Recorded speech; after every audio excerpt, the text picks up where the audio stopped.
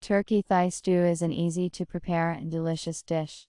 The meat turns out tender and juicy, besides, it is practically dietary. Prepare this dummy for yourself and your family. 1.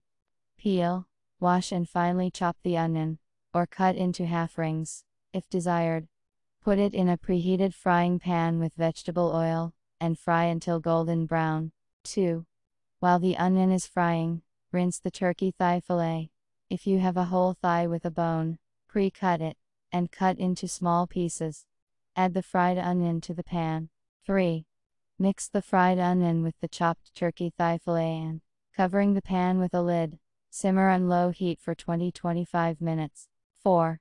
When the turkey has released a lot of juice, open the lid, add salt and spices to taste. Mix. You can take any spices, your favorite ones. 5. Then continue to simmer the turkey until it is ready without a lid, and the excess liquid will evaporate. But if there is no liquid already, and the turkey is not ready yet, you can add a small amount of hot water to the pan and simmer for some time under the lid. Turkey thigh stew is ready. Enjoy your meal.